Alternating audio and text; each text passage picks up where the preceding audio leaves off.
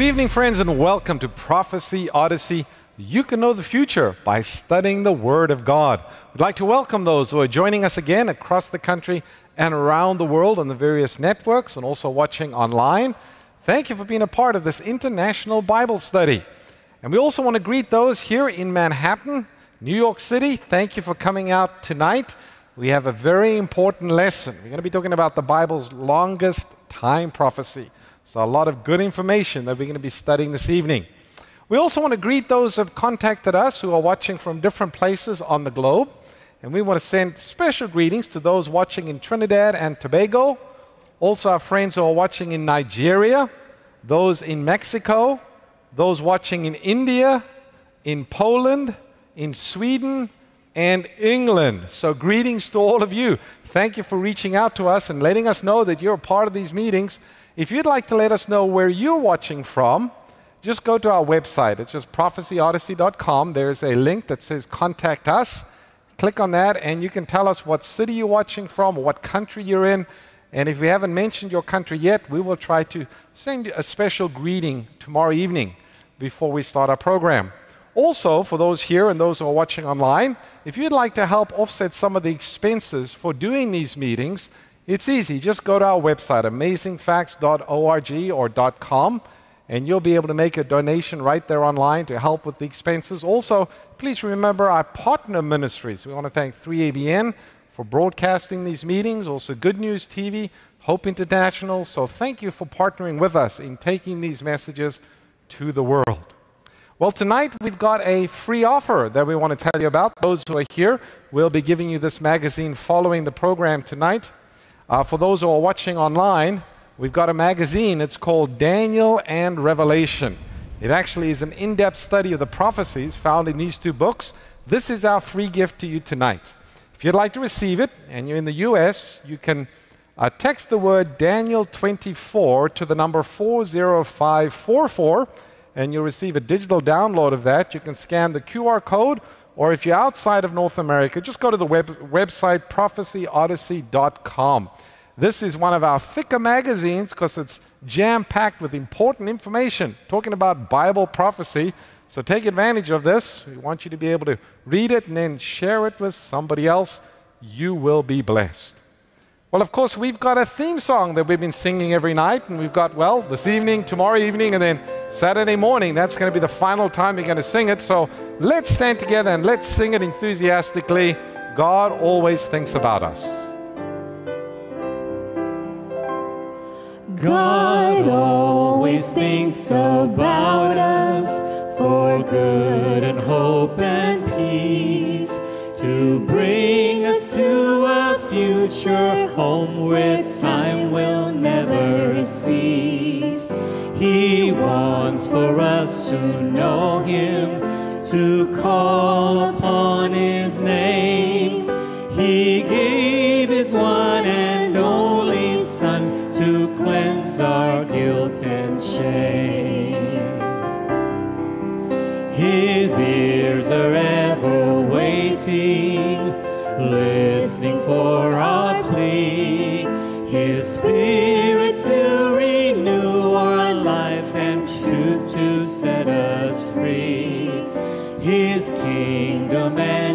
righteousness must be our only goal. To seek for God with all our hearts and search with all our soul. To seek for God with all our hearts and search with all our soul.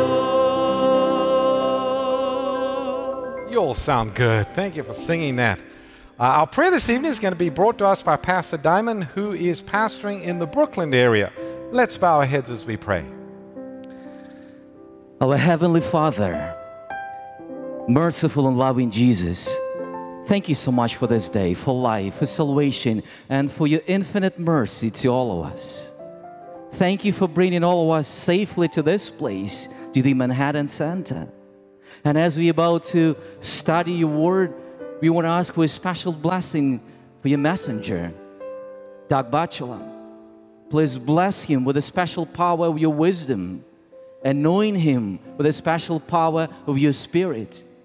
And bless everyone who is here in this place and everywhere in the world, those who are going to be watching us online. And we are claiming your promise tonight that your word, once spoken, will not return void, but will accomplish what you please. You want us to have a changed heart and mind.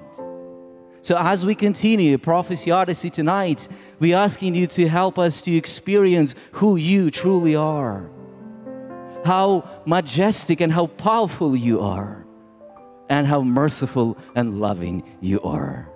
We pray in Jesus' name. Amen. Amen. Please be seated. Thank you, Pastor. We've got a beautiful, special music at this time How Deep the Father's Love, and Jackie Esposo is going to be bringing us that item.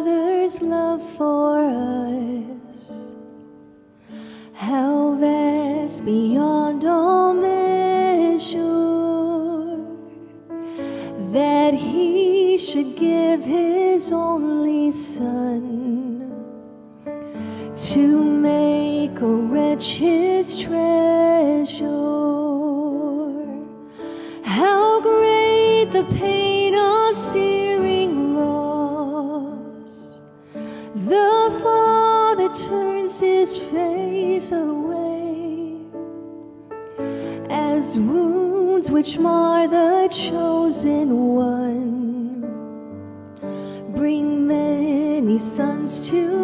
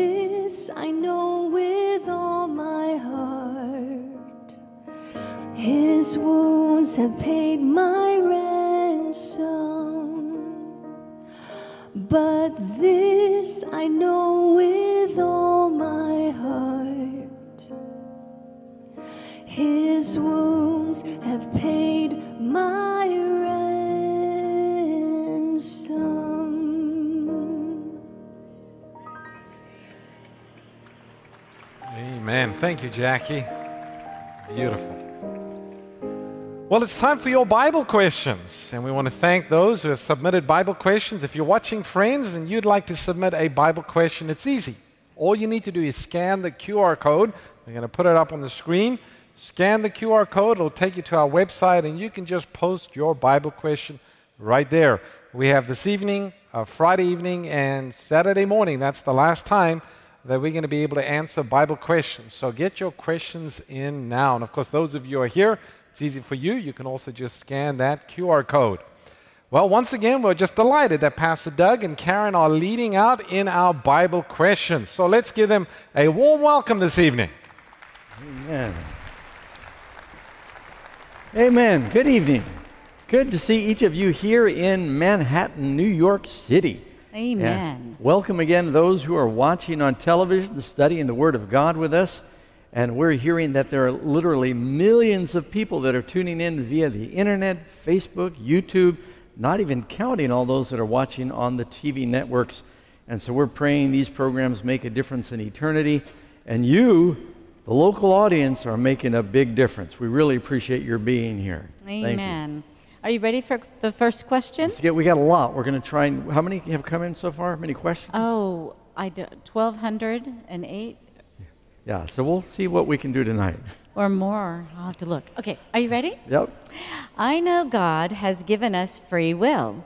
If I pray for someone's salvation who is a non believer, can God help this person to change their mind? Yes. Amen. There are examples in the Bible where you have individuals that are praying intercessory prayers to save others.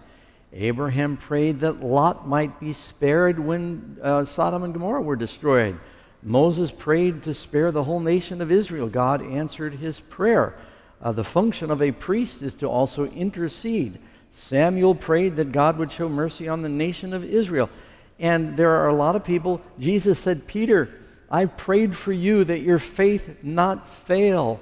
And when you're converted, strengthen the brethren. And Jesus answered that prayer. So, adding your prayers to God's desire to save gives God more permission to intervene in this satanic world to save and to put these people through circumstances and to work on them through the Holy Spirit.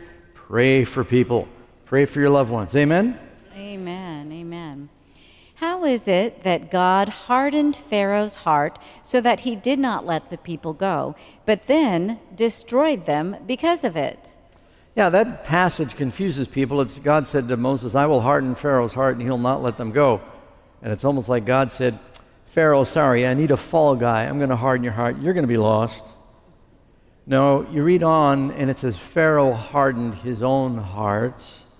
What God meant was, I am sending circumstances into the life of Pharaoh, and those circumstances are going to end up hardening his heart because he's proud. You know, you get the sunshine, and the sun shines on wax and it softens it, and the sun shines on clay and it hardens it. It's the same sunshine, it's the substance that makes the difference. Pharaoh had a proud heart, and the circumstances God sent hardened his heart. But Pharaoh made the decision. So last night we talked about how to be holy. Here's my question How can I be holy when I sin every day? Well, we learned when we talked about sanctification, first of all, you become like what you look at and think about.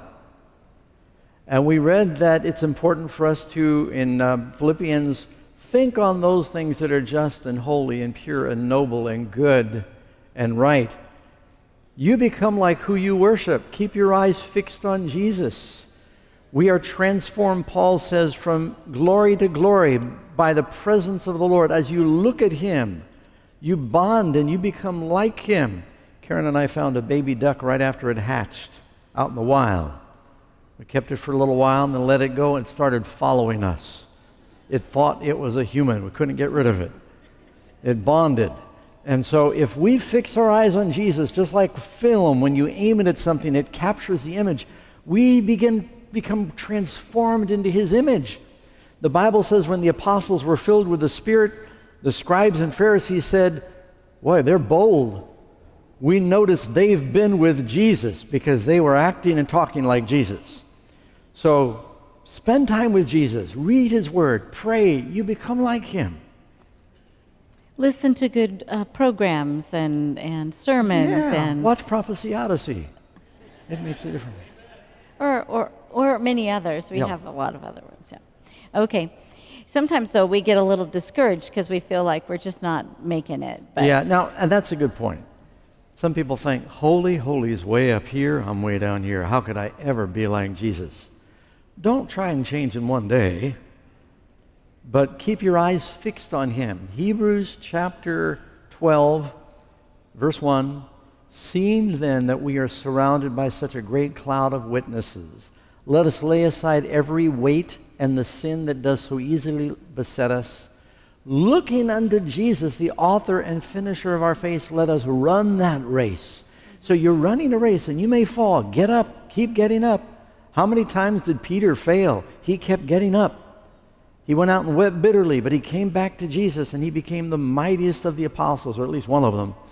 So, Mary Magdalene, Jesus cast out seven devils, but she was the first one to witness the resurrection. Do not get discouraged. Amen? Jesus saved a man that was filled with a legion of demons. He can save you.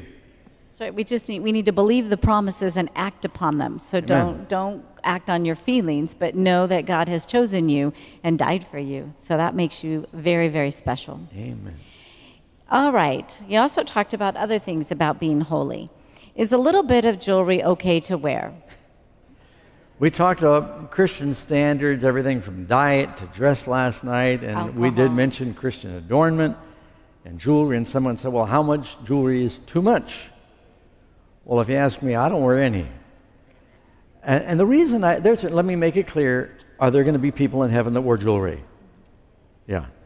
I, I want to be careful that people don't misunderstand this. But uh, some people are insecure about their appearance and they think by adding valuables to themselves they increase their self-worth and pr- they can end up looking like a christmas tree and you know it, you can make other people stumble and so i don't want to do anything i know one thing in the judgment day i'm not going to stand before the lord and he's going to say doug you can't make it to the kingdom why not lord you, doug you did not wear near enough jewelry Whenever you're in doubt, do the safe thing. Now, listen to this.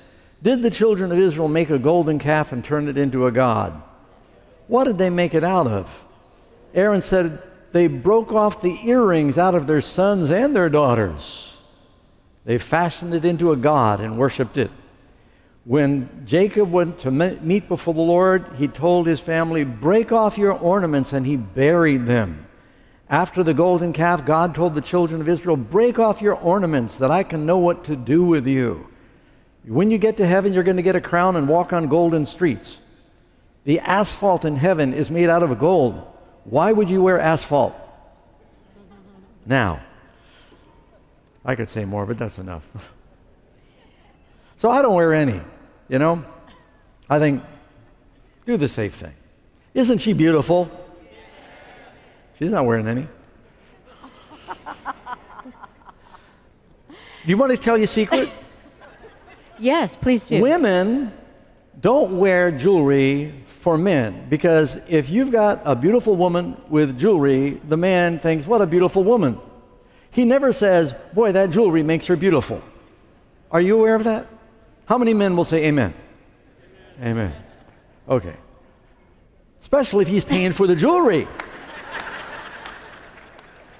So these two guys are sitting together in church one We day. have a lot more no, no, this I'll get. This is important. Okay.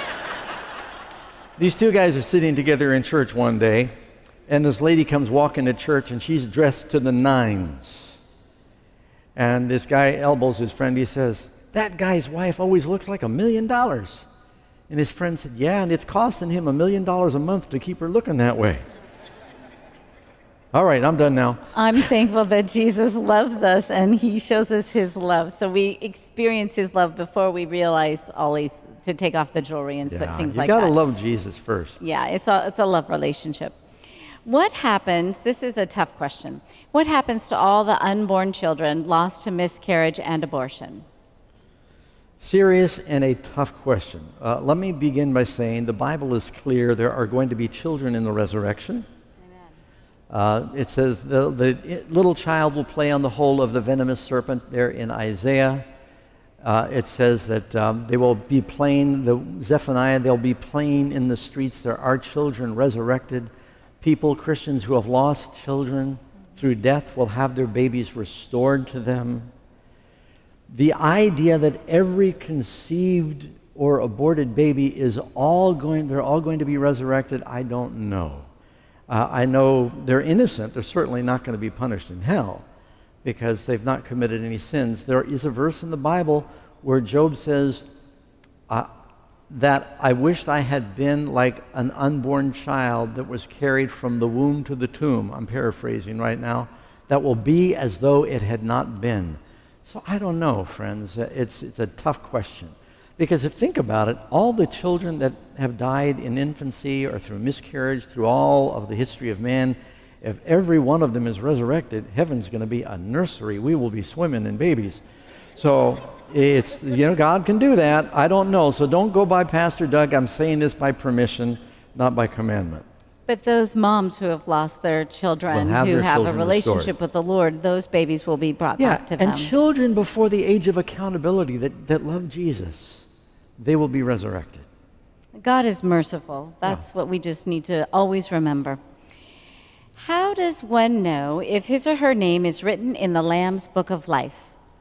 By faith, when we come to Jesus and we ask for his mercy, the Bible says in 1 John chapter 1, if we repent of our sins and confess our sins, he is faithful and just to forgive us our sins, to cleanse us from all unrighteousness, and your name is entered in the book of life as forgiven. Now, there'll be a judgment at the last days to find out if you have really had a change of heart, but your name will be entered in the book of life by faith when you come to Christ. Is the modern state of Israel in fulfillment of Bible prophecy? Well, uh, yes, uh, for a couple of reasons. One, there's a passage you read in the Gospel of Luke where it says, Jerusalem will be trodden down by the Gentiles until the times of the Gentiles be fulfilled. And some have understood that that would mean that the Gentiles would occupy that country until their time was up and it would ultimately be restored. Now, that's one verse. Some theologians argue whether that's pointing to that. There's another passage. There's a prophecy in Daniel chapter 4. Nebuchadnezzar has a dream where he loses his mind for seven years. And the first fulfillment of that dream is it says, For seven years, you're going to be like an animal, and then your reason will be restored. He dreams of this great tree that feeds the whole earth, and it shades the earth. And God says, Nebuchadnezzar, you're the tree. Some have wondered, is there a secondary fulfillment of that where a day would equal a year in prophecy? That would be 2,520 years. Nebuchadnezzar had that vision about 572 BC. If you go 2,520 years, that comes to 1948. What happened in 1948 to Israel? Formed as a nation. Now, that would be a dual or a secondary application. First application is the historic one about Nebuchadnezzar. But there may be other prophecies. Paul says that he, in Romans chapter 9, he waits for all of Israel to be saved.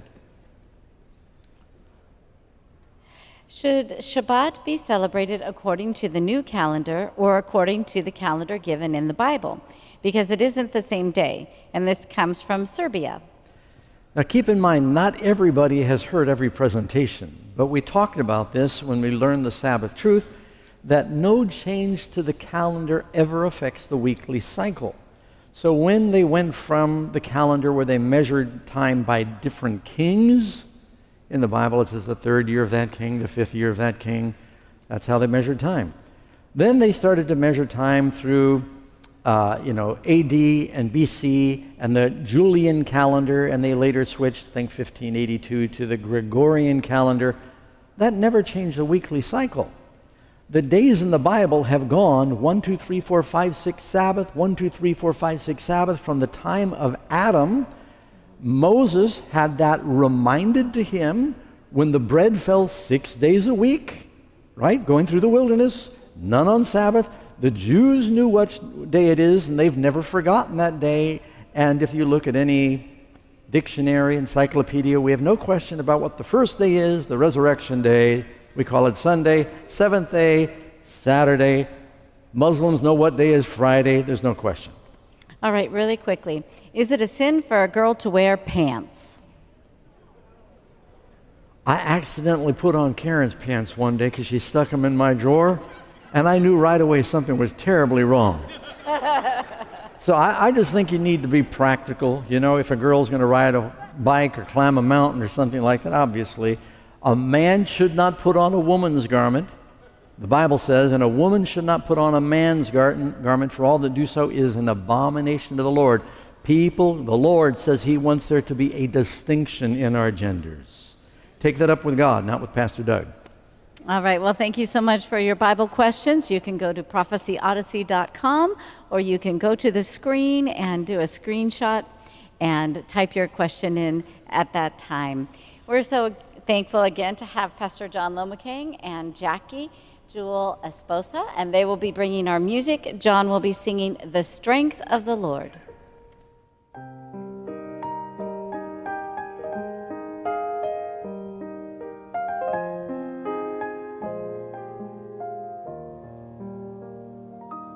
Sometimes life seems like words and music that can't quite become a song.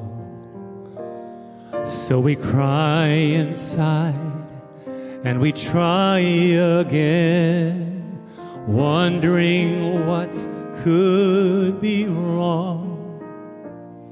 But then we turn to the Lord at the end of ourselves like we've done a time or two before.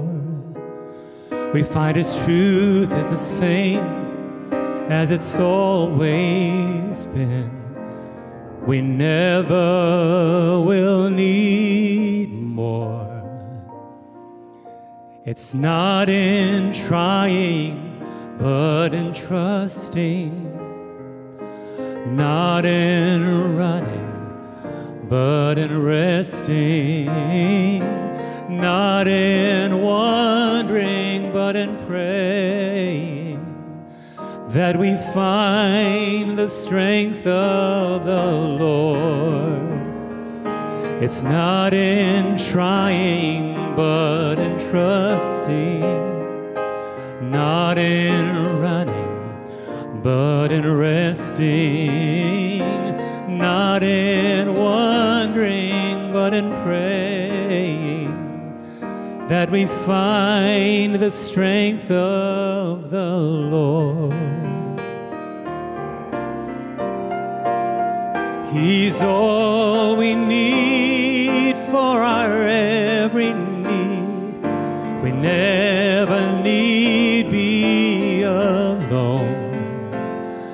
Still, He'll let us go if we choose to live life on our own. And then the only good that will ever be said of the pain we find ourselves in. There are places to gain and the wisdom to say, I'll never leave him again.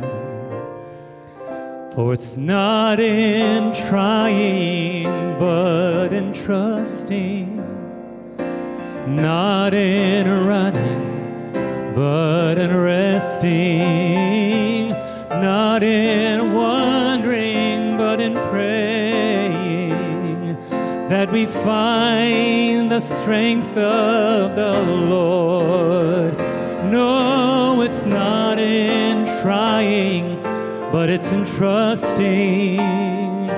It's not in running, it's in resting. Not in wondering, it's in praying that we find the strength of the Lord. It's not in wondering, but in praying that we find the strength of the Lord.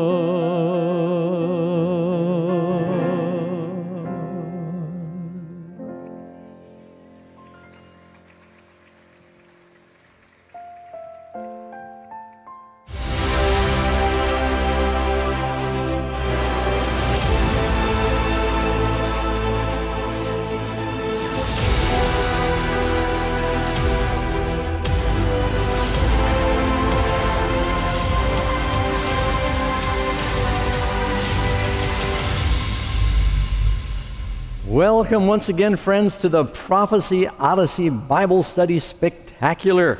You can know the future. And tonight is going to be another example of just a fantastic study in Bible prophecy, one of my favorites. We're so thankful to be here with you in New York City again.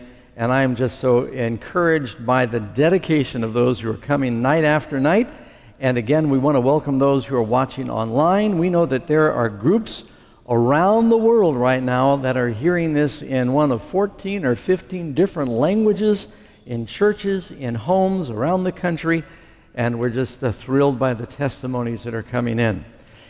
Tonight's study, and by the way, I want to remind you that you will have a copy of this. It's dealing with the longest time prophecy, and you can download this from the Prophecy Odyssey website. We hope that you'll take advantage of the whole 15 part series.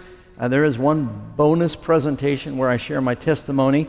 But uh, these studies will really help you understand the foundational teachings of Daniel and Revelation. Well, we're going to start tonight with an amazing fact. And I like amazing facts, and here's an amazing fact from, well, you'd say history and science. The Hong Kong Zhuhai Bridge is the longest sea crossing in the world. The structure consists of a series of three cable stayed bridges and an undersea tunnel and four artificial islands linking Hong Kong to the mainland China. This vast structure stretches more than 34 miles. One bridge, 34 miles across, and it crosses the Pearl River Delta. The bridge services 11 cities around the bay that's home to a combined 68 million people. I've been in the area, friends, and uh, let me just tell you, there are a lot of people in China. Because it is such a busy shipping area, a section of this colossal bridge plunges underwater, allowing the barges to go by, and a four mile stretch of it goes over the water, allowing ships to go underneath it. The structure required about 1 million cubic yards of cement to withstand the earthquakes and seasonal typhoons. The HZM bridge was designed to last for 120 years and cost an estimated $18 billion. The Mammoth Project began in 2009. It took nearly a decade to complete because of delays and safety concerns, and 19 men died during its construction which incidentally is twice the number that died building the Golden Gate Bridge. The world's longest bridge, almost. Actually, the world's longest bridge is the cross that links earth with heaven. The Bible tells us that Jacob had a dream of a ladder that reached from earth to heaven, and angels of God were ascending and descending on this ladder. And that ladder, Jesus said, represents his life. Christ is the mediator, he's the escalator that makes it possible for us to make it to the kingdom through the cross. Now, we're going to be studying in our study tonight uh, the longest Bible prophecy. Now, some people believe, you know, the longest Bible prophecy would be where you start with the creation of Adam, and you've got those, those three epics dealing with 2,000 years from Adam to Abraham, 2,000 years from Abraham to Jesus, 2,000 years from Jesus' day to our day, then a thousand years where we live and reign with Christ, 7,000 years. A day with the Lord is like a thousand years. That's not really a prophecy. That's sort of um, a theory. We're going to uh, be talking about what would be the longest time prophecy dealing with a cleansing of the sanctuary, and we're going to talk about an Old Testament prophecy that foretold both the birth and the baptism of Jesus. Did you know about that? Looking at the book of Daniel, dealing with the sanctuary and the sanctuary on earth and the sanctuary in heaven. Fasten your seatbelts. We've got a lot to study, but we're going to find out what our people on the street have to say about some of these questions. First of all, can the Bible predict the future? All right. Of course, yeah. Because we have seen that there's a lot of things right in, in the Bible that we actually see that there we're seeing it happening. Yes. In Revelations. It's very clear. I think so. Sure. No. it. Of course, it's something you will see probably, you know, in the next life. Yeah, I think sanctuary is for everyone, and I think just like heaven is for everyone. I mean, I'd like to think that sanctuary is within ourselves. I think Isaiah was the one who first predicted the coming of Jesus. Sorry. The book of Daniel? When, Dan- when Nebuchadnezzar had the dream of the image. In the 490 year prophecy, I'm wondering if it was symbolic. I think that it has to do with uh, restoring um, heaven on earth after Jesus comes back and uh, saves us. Is Jesus basically restoring restoring heaven on earth? You know, for him to be able to dwell in the temple, they had to rebuild it to certain specifications. And I believe that's what it is, as far as I can remember. I think there's a level of peace that we get when we find finite answers to our questions. So if, if there's a certain time to it, it's it's easier for you to prove it. So then you'll know when it happens, when it happens.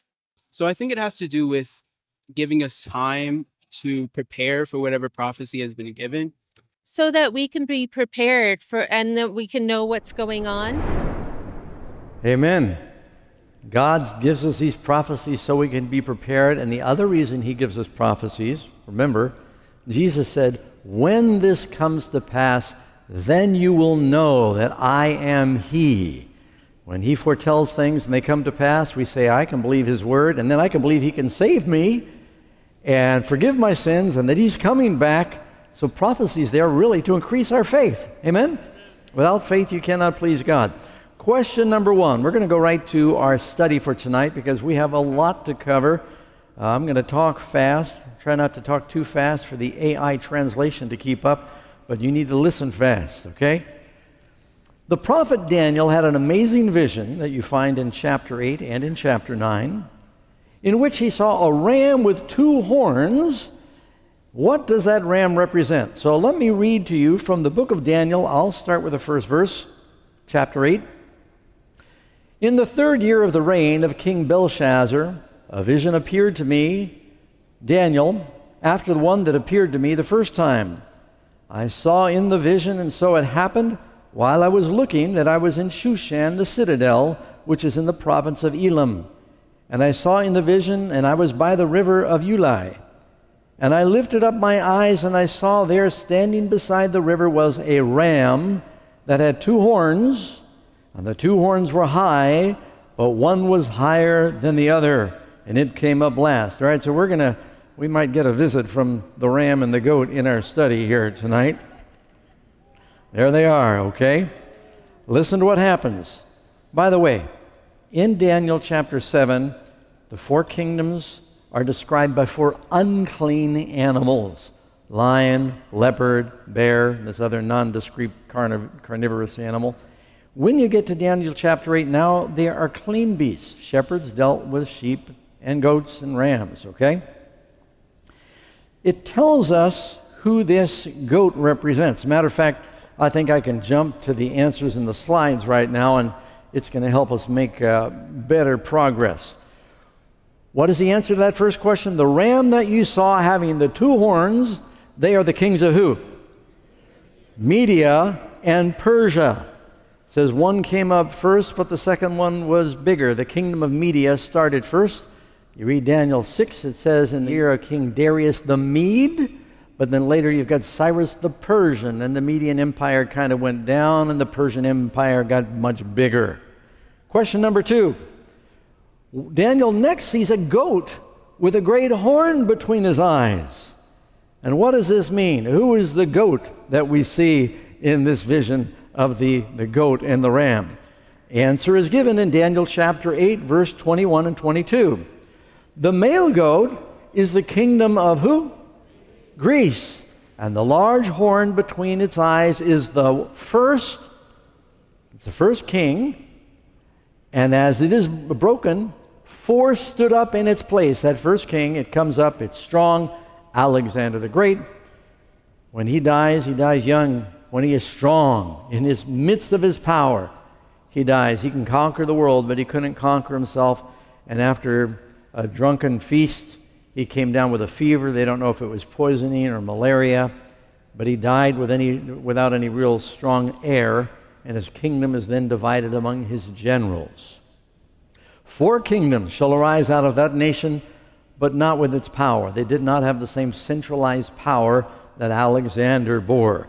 Alexander was, uh, oh, they call him the Great for a reason. Marched his army 11,000 miles in about 10 years. He conquered the Persians. You heard about the battle of the 300 Spartans. That was before Alexander. But the Greeks, they were a warrior nation. And Alexander's father, Philip of Macedon, he had Alexander taught by Aristotle and some of the great uh, uh, philosophers, and he was a very well educated, a great military tactician, and his kingdom spread. And look at the scope and the map of the Greek empire that Alexander spread. But then he died, and as he was dying, someone asked him, Who will reign in your place? And he said, The strongest. And that's the way it usually works. And his four generals, they then began to carve up his empire among them. And you have this now, this goat that's got four horns. This is actually a real picture. This is not um, special effects. Every now and then you will find a go- goat that will produce four horns. I think this one's a sheep, a ram. So the four horns represent the four generals who took power over parts of the empire when Alexander died. And they, you can see their divisions here. There was one that was far to the east, and the one that was the south, the Ptolemies. You got the Seleucids to the east. You got Antiochus that was in the midst, and up north you got Cassander and uh, Lysimachus. And so you've got this, this breakup of his kingdom among these four generals. Now I named, I included Antiochus. He wasn't until later. It's really Lysimachus that was in there. Number three, a little horn then springs up out of one of the four. What does that represent? Now, have you noticed so far the angel is telling Daniel exactly who these kings are? The angel says Persia, Greece, but now the angel doesn't give us an exact answer, so we need to go to the Bible. Because by the time when, when the angel is giving this vision to Daniel, nobody would have dreamed that Romulus and Remus in that village of Rome were going to become a world empire.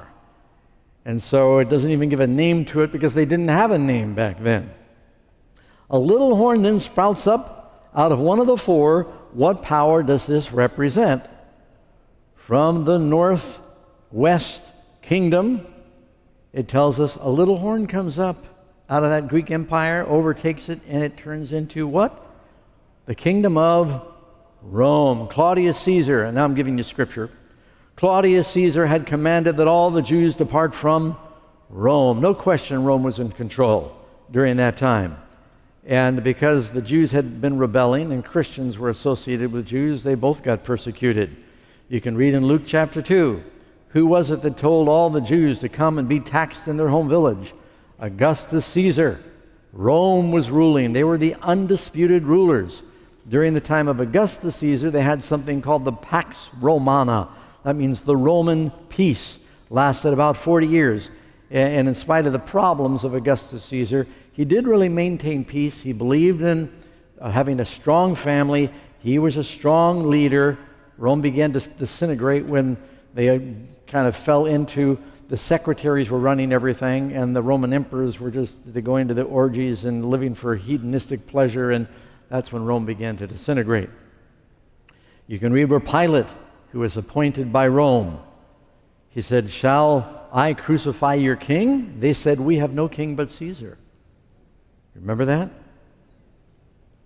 So the little horn that comes up from one of the divisions of Roman Empire is talking about uh, Italy and Rome, and it's the Roman Empire, and it's really talking about two aspects of it. During pagan Rome, they persecuted the Jews. We know, of course, they destroyed Jerusalem, they destroyed the temple, they executed Jesus under the urging of some of the religious leaders.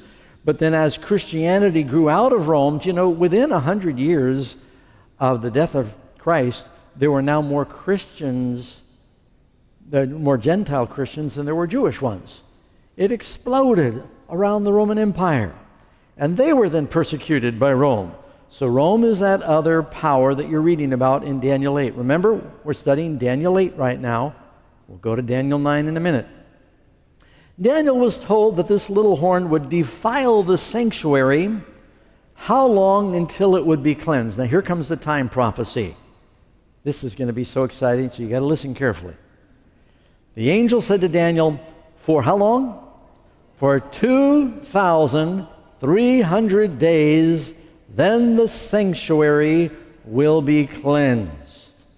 Now, what does this mean? And some of your Bible versions may say 2,300 evenings and mornings. They, both translations work. Let me explain what this is talking about. Once a year, how often? Once a year, the high priest would go into the Holy of Holies. It was what we call Yom Kippur or the Day of Atonement. And uh, he would have a cleansing of the sanctuary. It came once a year. So if you say 2,300 days of atonement, how many years is that? Happens once a year.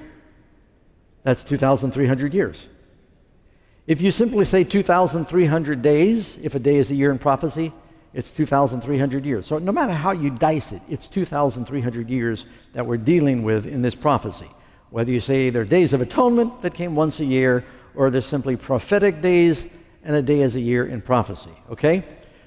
It says what would happen? The sanctuary would be cleansed. Is this talking about the priest cleansing the Jewish sanctuary? Can't be. That was destroyed. You remember when Jesus began his ministry, he told the Jewish people, Take out these sheep and the goats and the doves and all the animals you're selling. You've turned it into a bazaar. My father's house is to be a house of prayer for all nations. You've made it a den of thieves. He said, My father's house. And Jesus taught daily in the temple, the Bible says. Remember? At the end of his ministry, when the religious leaders rejected his teaching, he walked out. You know what he said? Your house is left to you desolate. And he told the disciples, Don't worship the temple. Soon there will not be left here one stone upon another. Christ said, Destroy this temple that is made with hands, and in three days I will raise it up. And they said, It's taken 46 years to remodel the temple. How are you going to raise it up in three days? But the Bible says he spoke of his body. At the resurrection, when Christ rose after suffering for our sins, the church was born. And you are the temple of God, Paul says. So a cleansing of the sanctuary is not just talking about the people, but God has a sanctuary in heaven. You remember last night's study? Moses built the sanctuary based on the pattern of a heavenly sanctuary, amen? Where Christ intercedes as our high priest right now. The Bible says he is there at the right hand of the Father, pleading. He ever, ever lives to make intercession for us. We have a faithful high priest after the order of Melchizedek. Jesus is our high, high priest in the real heavenly sanctuary, but he's got a sanctuary on earth. Now, how could the sanctuary in heaven need cleansing? Well, every time you sin, who takes your sin? How many believe our sins are washed away by the blood of Jesus? What is Jesus pleading before the Father right now? His blood. Are our sins always going to be in the blood of Christ in the heavenly sanctuary, or will it someday be cleansed? Doesn't the Bible say he is coming without sin unto salvation when he comes?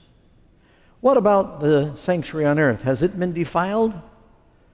What was it that was defiled? Look in Daniel 8, verse 12. It's on your screen now. Uh, it'll be there. There it is. Because of transgression, an army was given over to the horn. This is that little horn, that beast power. To oppose the daily sacrifices. The daily sacrifices when the people came for forgiveness through the blood of the Lamb.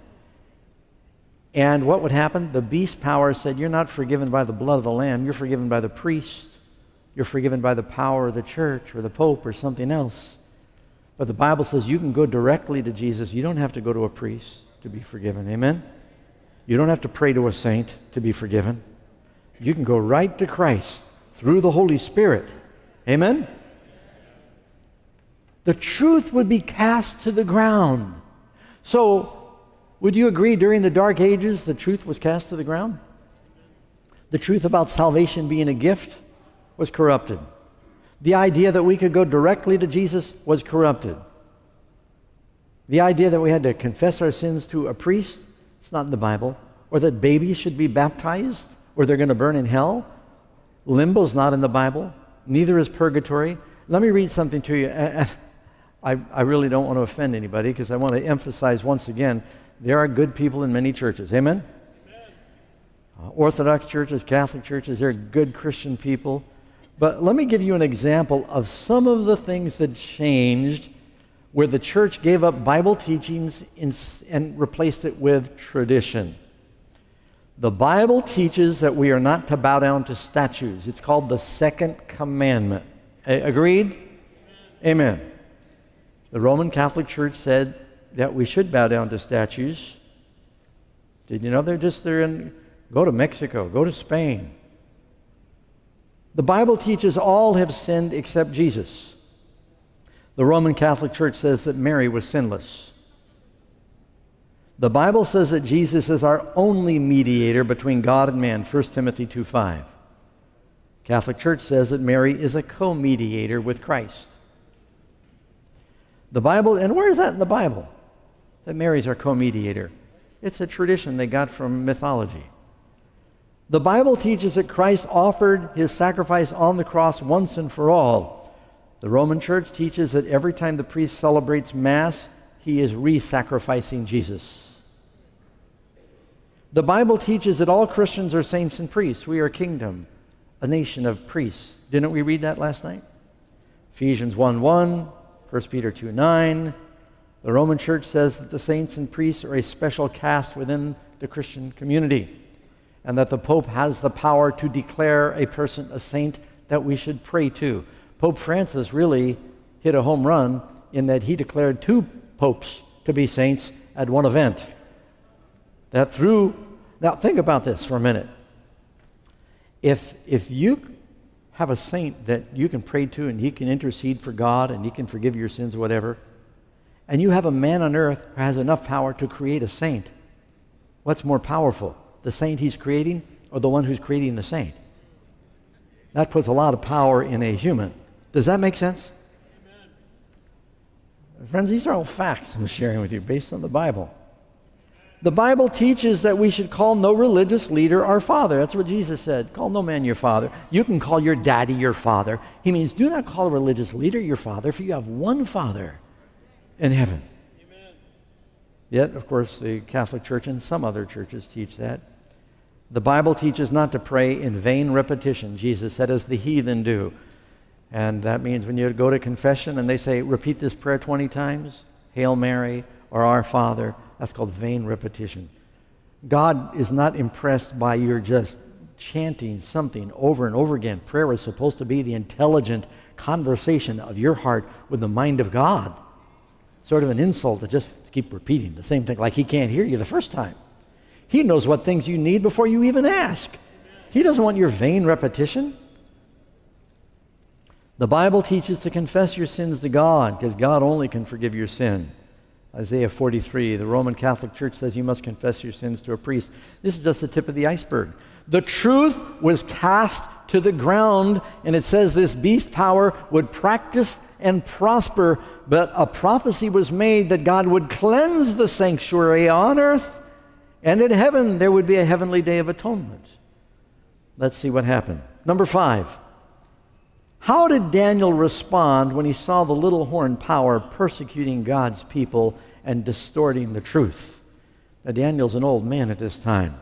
And when he saw the tremendous persecution, not only what the Romans would do to the Jews, that his nation would be destroyed and the temple would be destroyed, broke his heart, but then he saw God's spiritual Israel being burnt at the stake and fed to the lions and driven to the hills and persecuted did Daniel care about his people? Most beautiful prayer in the Bible is Daniel's prayer in chapter 9 of Daniel. Read it as he's interceding for the people. It says, I, Daniel, this is Daniel 8, verse 27, fainted, and I was sick, and I was astonished by the vision.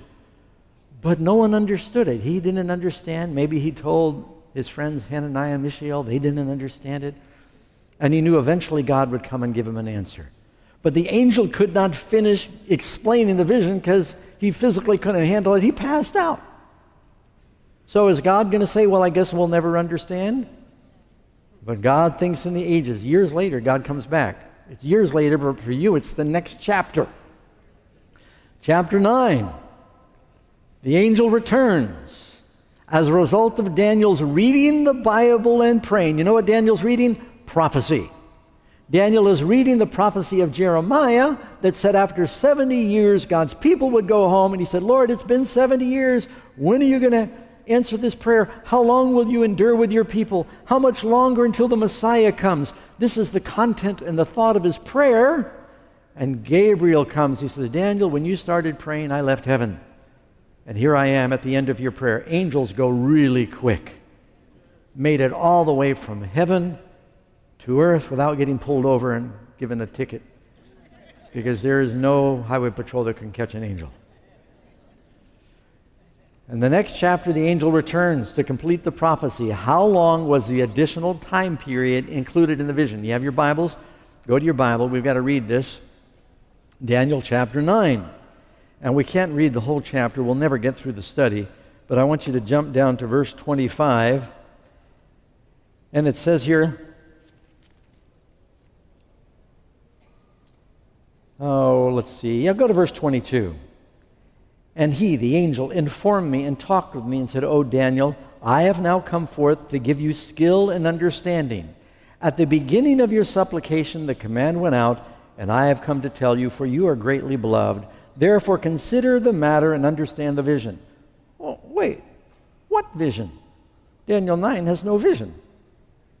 He's saying, I'm coming to give you understanding in the last vision, chapter 8. It's the only other vision there was.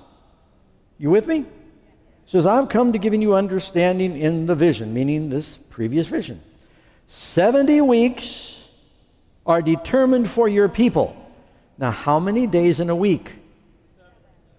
Seven. 70 times 7 is what? 490. Saying, I'm giving another 490 years to your people to complete their mission and presenting and introducing the Messiah to the world. The Messiah would come through the Jewish nation, the seed of Abraham. By the way, Peter came to Jesus and said, How often shall I forgive my brother? Seven times? And Jesus said, I say not unto you seven times, but 70 times seven. A symbol for the mercy of God and the very number that God had given Daniel and how much more mercy he was going to give the Jewish nation to complete their task. Okay? 70 weeks are determined for your people and for your holy city. To finish, several things happen in that time period. Listen. To finish transgression, to make an end of sins through the sacrifice of Christ, to make reconciliation for iniquity. Can you say, Praise God? We can be saved from our sin. To bring in everlasting righteousness through the Messiah. To seal up the vision, to complete this vision and the prophecy, and to anoint the most holy. Christ, the word Messiah means the anointed, to anoint the anointed, the Messiah. Now he begins to explain, explain it. Know therefore and understand that from the going forth of the command to restore and build Jerusalem, here's your starting point for the prophecy. For which prophecy? Well, the first prophecy that you find in Daniel 8 said there'd be 2,300 days and the sanctuary would be cleansed. He said, I've come to give you understanding. Here's your starting point for both prophecies. From the going forth of the command to restore and build Jerusalem unto the Messiah the Prince, there will be seven weeks and 62 weeks. And the street shall be built again, and the wall even in troublous times. If you read the book of Ezra and Nehemiah, you'll see all the trouble they had rebuilding the walls and the street and the city, even in troublous times. And after 62 weeks, Messiah will be cut off, but not for himself. Who is Messiah cut off for? For you, for me. He died in the midst of his life, in his prime. And the people of the prince who will come. Now, when it says the people of the prince who will come, it's talking about the, the prince that is making war with God's people. The people of the prince who will come, the Roman power, will destroy the city and the sanctuary, and the end of it will be a flood until the end of the war. Desolations are determined. That's the abomination of desolation. Now he's returning to the subject in verse 27 of the Messiah. Then he, the Messiah, will confirm the covenant with many for one week But in the middle of the week, he will bring an end to sacrifice and offering. And on the wing of abominations shall one who makes desolate, even until the consummation which is determined is poured on the desolate. Now, you said, Pastor Doug, I didn't get all that. I know. We're going to go back now and review it. And I think it'll make more, more sense now. Okay? We read the passage. How long did the angel tell Daniel were determined or cut off for God's people, the Jewish nation, to do their most important work? 70 weeks. How many days in 70 weeks? 490 in prophecy. How long is that? 490 years. 70 weeks determined for your people. The angel Gabriel explained that he'd give the chosen nation an additional 400 years. They got to go back to the land. They rebuilt the city, the walls, in troublous times. And that took like 49 years. That's why it says that there would be another seven weeks when that would be happening. And they, uh, they were to present and proclaim the Messiah to the world.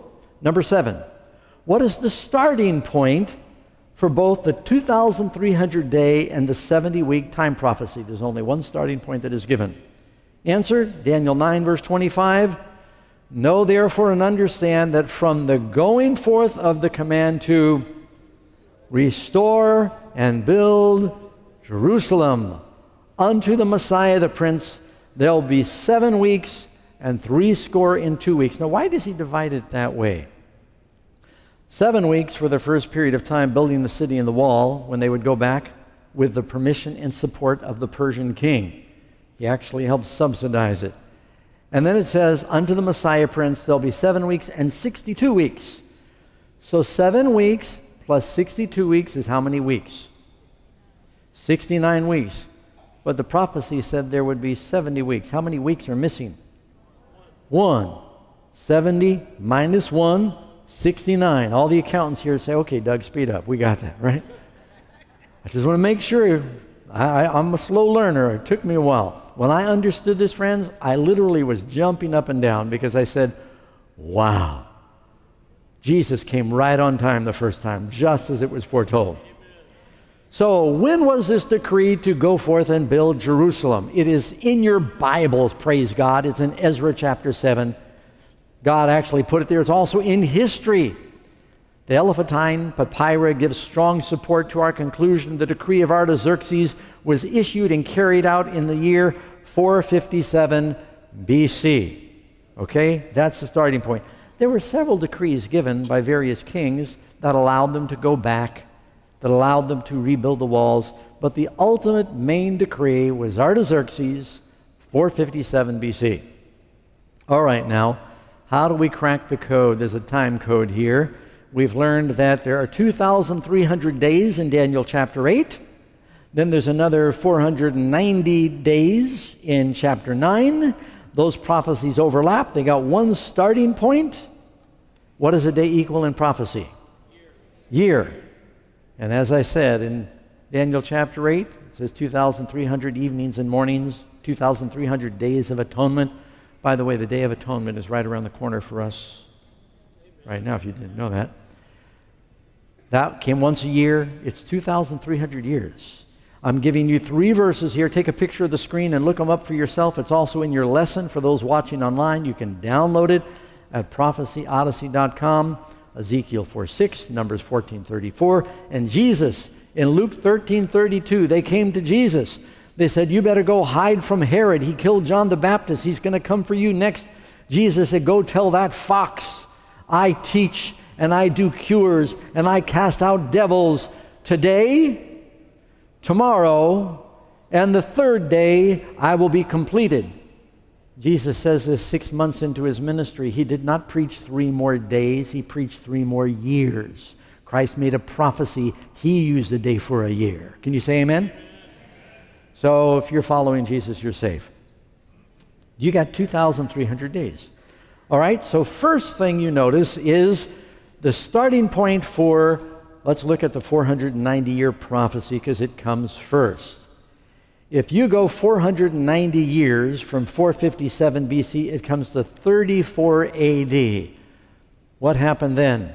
Not going to tell you yet. Stay with me. Because you'll notice that the angel then carved up he carved up that 490 year prophecy. First, he said there'll be seven weeks, and that's the time they built the wall and the street in troublous times. Then there'll be another 62 weeks. Seven weeks and 62 weeks is 69 weeks. To anoint the most holy. What happened in 27 AD? See, 69 weeks has 483 years. You, have, you see it on the screen? Can you all see it? You with me? 483 days, a day is a year. 457, if you go 483 years, it comes to 27 AD. What happened in 27 AD? Question number eight. The angel said when counting 69 weeks from 457 BC, it would come to the Messiah, the Prince. Did it happen? Now that means the Messiah, the Prince, beginning his ministry as the Messiah, the anointed one. What happened? Acts chapter 10, verse 37. That word you know that after the baptism which John preached, how God, what's the word? Anointed Jesus of Nazareth with the Holy Spirit and power. When he came out of the water, the Holy Spirit came down like a dove and he began his preaching and his teaching ministry after returning from the wilderness of temptation. Amen? Amen? When was that time? I am so thankful for Dr. Luke, who wrote the book of Luke, who was an excellent theologian. And if you read, Luke gives us like six benchmarks in history. He tells us about Pontius Pilate. He tells us about Tiberius Caesar. He tells us what year. He tells us who's reigning Philip and Trachonitis. And he tells us all these historical pinpoints. And then he tells us Jesus being 30 years of age because he was old enough to be baptized. And this is all in that one chapter, chapter 3 of Luke. It is one of the most well established and documented dates in history. You don't have to be confused. 27 AD was the only time in history that those high priests, their lives overlapped with Tiberius Caesar, Pontius Pilate, Herod, and all those events that were happening. All the stars just intersected 27 AD, exactly when the prophet Daniel said, if you go 483 years after 457, the decree, the most holy is anointed. You know what that means? They not only knew when he would begin his ministry, but if you knew he could not begin his ministry until he got old enough to serve as a priest or a rabbi, which was 30 years of age, you could count back 30 years and figure out when he would be born. Which is why the shepherds were looking for him that's why Simon in the temple says, God has shown me that I would not die until I saw God's salvation when Joseph and Mary brought the baby to the temple. It all happened right on time. So, I think we're beginning to crack the code here for the baptism of Jesus. But then, you got one more week that's added on, because you still got a total of 490 years. What happens then?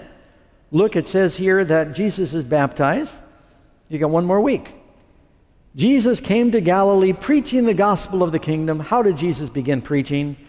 The time is fulfilled and the kingdom of God is at hand. What time is fulfilled? Christ starts preaching the time is fulfilled.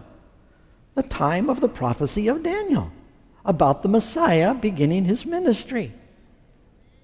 Christ was talking about that prophecy. Jesus referred to the prophet Daniel in his teaching. The kingdom of heaven is at hand. Repent and believe the gospel. Number nine, what was to take place next in the prophecy? It said, in the midst of this last week, before you get to 34 AD, halfway between seven is what? Three and a half, right? How long did Jesus preach? Three and a half years. Three and a half years after he preached, he caused the sacrifice to cease. It says, after the 62 weeks and the seven weeks, which are 69 weeks, Messiah is cut off, but not for himself.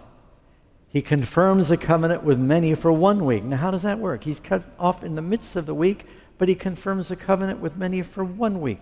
Friends, I've got to tell you something here. Listen carefully. Among Christians, there is a great divergence on what this verse means. Good Christians, but you got to get this right. There are many evangelicals, left behind Christians that think the one who's confirming the covenant is the Antichrist. We're saying there is no example of the Antichrist making a covenant with anybody. It's Christ who made a covenant with his people. And in the midst of that last week, he is cut off. So we got to get this right. Can you see how wrong you can be on that? They think the Antichrist is going to come and they're going to rebuild this physical temple, and in the mid three and a half years later, all these things are going to happen. This whole scenario that is very different from what Protestants used to believe. After the 69 weeks, he causes the sacrifice to cease. Why? Because he dies. Did I give you the last answer? In the middle of the week, he brings an end to the sacrifice. Three and a half years after Jesus is preaching, do you realize when Jesus first started preaching, he did not tell his disciples, go to the world. No, no. Matter of fact, Gentiles came to him. He said, I'm sorry, we are sent to the lost sheep of the house of Israel because Daniel said there are still, there's still seven more years for the Jewish nation. We're going to exclusively share the gospel with them so they're prepared to preach it to everybody. Why did Jesus pick 12 Jewish apostles? I mean, couldn't he have picked some Gentiles and thrown them in? It was not time yet, right? It says they are the ones who are to proclaim the Messiah, the seed of Abraham. So, Christ dies on the cross exactly three and a half years later in the middle of that last week. Our Passover is sacrificed for us. But the disciples did not go immediately to the Jews. Jesus said, Wait in Jerusalem until you receive the Holy Spirit. You'll be given power on high. And I do not want you to go yet in the way of the Gentiles. I want you to preach to the lost sheep of the house of Israel. They get it first. Doesn't Paul say to the Jew first and then the Gentile? Why? Because they needed the less work. They already had the background, they had the scriptures. They were waiting for the Messiah, and they make pretty good preachers, if I say so myself. I'm only half Jewish. All right, sorry. So, three and a half years go by. Some people take this last three and a half years or this last week and they cut it off from the 490 years. They float it near the end of time and they talk about seven years of tribulation. How many of you have heard of seven years of tribulation? Show me in the Bible where it says seven years of tribulation. They may get that because there were seven days when Noah was in the ark and life went on outside, and I don't know where they get it, but there's no statement that says seven years of tribulation. They take this last week off of Daniel's prophecy, they tear it, and they float it, and they say, We don't know when it's going to start again. But there's no example in the Bible of separating a time prophecy like that and putting the last week where you want. It's all one prophecy together, friends. Amen? All right, listen to what it says here. Jesus told his disciples to focus their preaching first on what group? He said, Do not go in the way of the Gentiles, but go rather to the lost sheep of who? The house of Israel.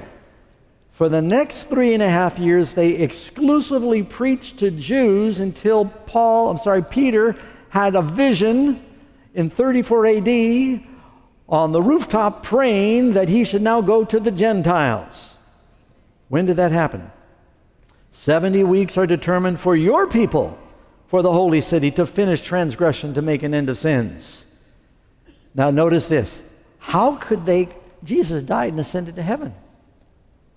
Why does it say he'll confirm the covenant with many for one week? Listen, listen, this, if you get this, it makes sense. What do we do with that last three and a half years? Hebrews chapter 2, verse 3 is your answer. How shall we escape if we neglect so great a salvation, which at the first, first three and a half years, began to be spoken by the Lord in person and was confirmed, using the very same word as Daniel, by those who heard him? Jesus said, As the Father sent me to the apostles, he says, No, I send you. I went and I confirmed the covenant for three and a half years. I died on the cross. The veil in the temple was rent. I caused the sacrifice to cease. I am now the Lamb of God, but you must confirm the co- covenant for three and a half more years. What happened exactly three and a half years later? Stephen is stoned. Read Acts chapter 7. Stephen, who was the first martyr, he preaches before the Jewish Supreme Court, the leaders of the nation. Jesus would have saved them. He said, I'm giving you more time. He made a powerful appeal. He said, I see the heavens open. I see Christ. He's the Messiah. And you know what they did? They plugged their ears. What does it mean if a judge plugs his ears? And they gnashed their teeth. They took him outside the city just like they had taken Jesus outside the city three and a half years earlier. And they executed him without the benefit of a trial. And the clothing was laid down at the feet of Saul, just like the clothing was gambled of Christ. And Stephen said, Father, forgive them, lay not this sin to their charge, just like Jesus said, Father, forgive them, they know what they do.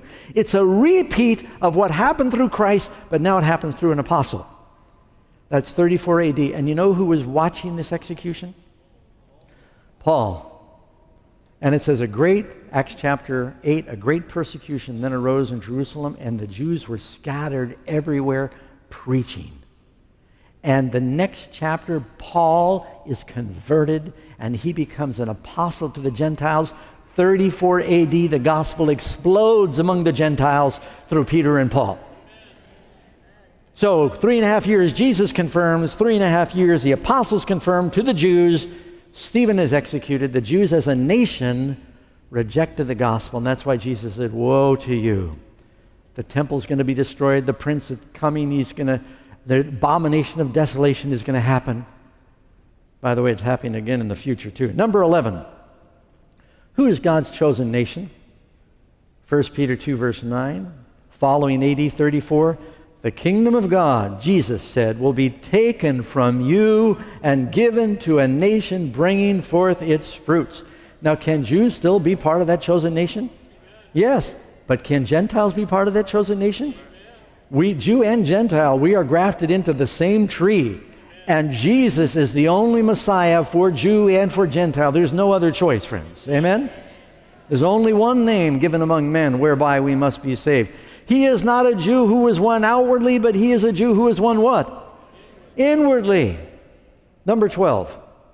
According to the angel who spoke with Daniel, what final event would begin the end of the 2,300 years? Okay, now, everybody understands we've covered the 490 year prophecy, reaches to 34 AD. The Messiah was introduced.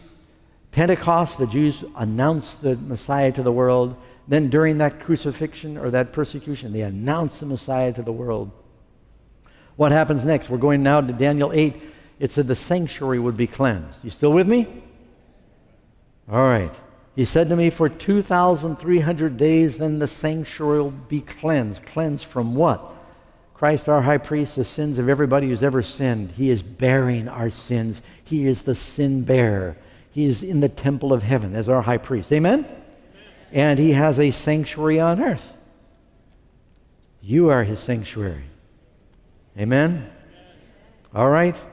You got the 490 years, the 70 weeks, that's completed. There's a remaining prophetic time.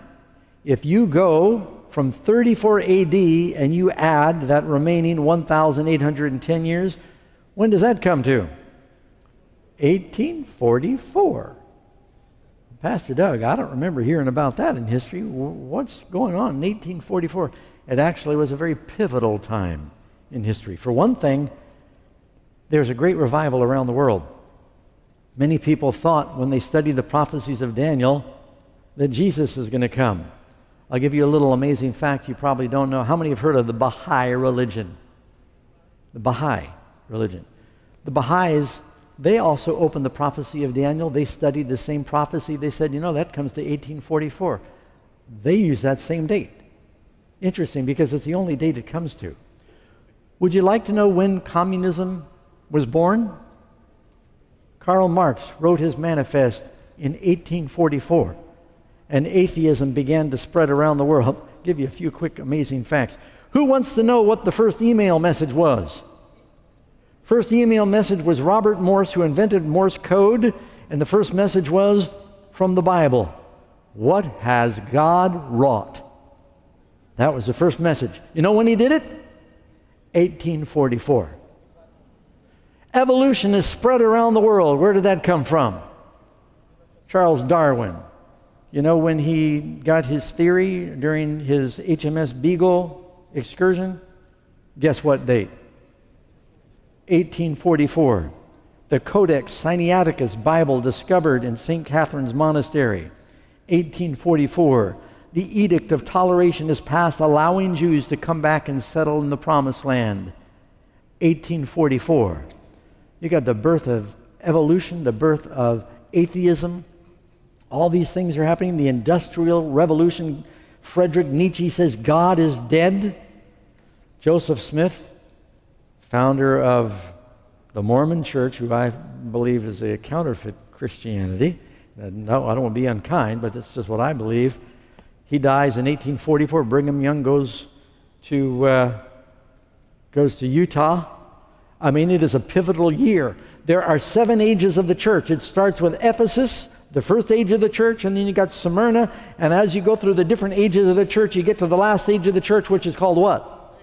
Laodicea. It means a judging of the people. Christ is our high priest. The final judgment before he comes is beginning. The day of atonement was a time of judgment. Christ has served as our high priest in heaven from his ascension. In 1844, there are two apartments in the sanctuary. He entered his final phase. A judgment began according to the books that are written. So, number 13. When Jesus ascended to heaven, where did his ministry for us continue? Seeing then that we have a great high priest who has passed through the heavens, Jesus, the Son of God, let us hold fast our confession. Christ came, Hebrews 9:11. Christ came as high priest of the good things to come with a greater and a more perfect what? Tabernacle not made with man's hands, that is not of this creation. He is in the heavenly temple, friends, is our high priest. Amen? Amen. When he died on the cross, the purpose for the earthly temple is over. It's not going to be rebuilt. Number 14. Does God still have a temple on the earth? What does it say? Ephesians 2:19. The households of God has been built on the foundation of the apostles and prophets, Jesus Christ himself being the chief cornerstone, in whom the whole building being fitly framed together grows into a what? A holy temple in the Lord, in whom you are being built together for a dwelling place of God. All right, let's look at our chart. We're going to put our chart up on the screen here, and we're going to also have a three dimensional version of the chart here, and I'm going to go through this very quickly. Let me see. You got it up here where I can see it? All right. So here we've got the beginning is when? 457. You got the first 490 years that reach to the baptism of Jesus that takes place when? 27 AD. This is the time for the Jewish nation. For the next three and a half years, Christ confirms the covenant in person. And then he causes the sacrifice to cease. He dies on the cross. But he said, Don't go to the Gentiles yet, go to the lost sheep. For the next three and a half years, the disciple is pre- the gospel is preached through what? The apostles to the Jews. But they reject, the Supreme Court rejects the message of Stephen, and their time is cut off as a nation. Now the gospel is scattered everywhere but we've still got time left for the cleansing of the sanctuary. God's church would be cast to the ground, the truth would be cast to the ground. Now, if you go that remaining period of time, that 1810 years, I'm sorry, uh, 483 years, no, I'm getting wrong, 1810 years, you come to the time 1844. Do you know what else happened in 1844 along with Karl Marx and Charles Darwin and all these things that are going on that year, the last phase of the church, God began a movement where Christians put aside their differences. And they said, Why is the Christian church so divided? God said, All men will know you're my disciples by your love for one another. Are you aware? Jesus said, I have other sheep that are not of this fold. Them I must also call, and there'll be how many? One fold. You know, when Jesus comes, you're going to have two groups mark of the beast and the seal of God. Don't miss Sabbath morning. We're studying that. The mark of the beast and the seal of God. What's going to happen before Jesus comes? There's going to be a shaking in Christianity and there's going to be a revival, and God's people are going to return to the Word of God, and the sanctuary is going to be cleansed from the false teachings of the Dark Ages.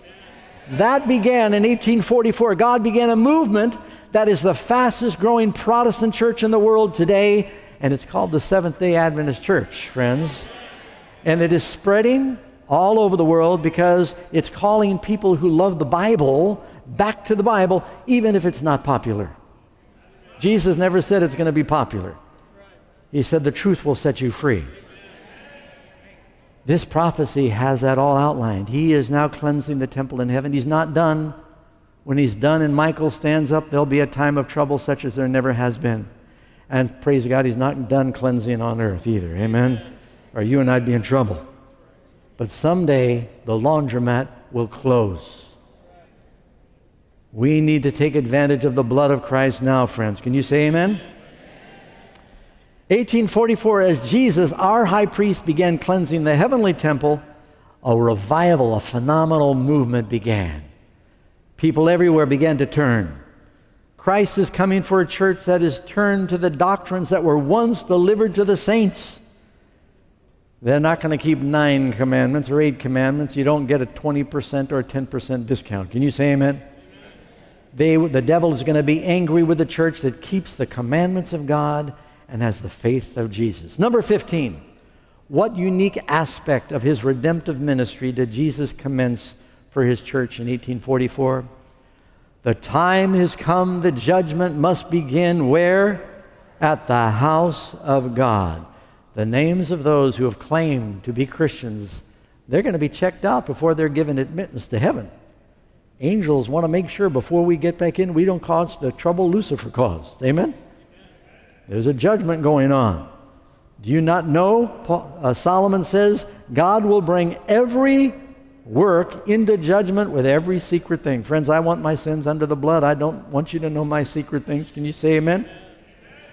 So I've got to hasten to the end. There's good news here for you. Jesus is our high priest in heaven. We don't need to be afraid of this final judgment. You know why? It says the court is seated Number 16, our great hope is that Jesus is our advocate. Can you say amen? 1 John 2 1. He is our judge. He is our faithful and true witness. If you go to court and you've got the best defense attorney, he's your judge, he's your friend, he's your family, and he's your witness, you're in good shape. Amen? You don't have to be afraid of the judgment. If you fear God, you won't be afraid of anything else. If you don't fear God, you'll be afraid of everything else. How many want to give their hearts to Christ tonight, friends? Be part of His people. Amen? God bless you. I want you to pray with your groups as we go off the air. I'll be praying here in Manhattan with our local group. And don't miss our next study tomorrow morning. We're going to be talking about tomorrow night Babylon and the USA. Don't miss it tomorrow night. Amen? I'm talking too fast.